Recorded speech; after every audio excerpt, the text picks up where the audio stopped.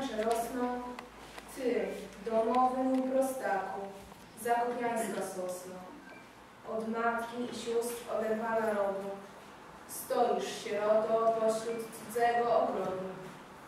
Jakże tu miłym jesteś gościem memu oku, bowiem oboje doświadczamy jednego wyroku. I mnie także pielgrzymka wniosła daleka, i mnie w cudzej ziemi czas życia ucieka. Czemuś, choć cię starania cudze otoczyły, nie rozwinęła wzrostu, utraciła siły.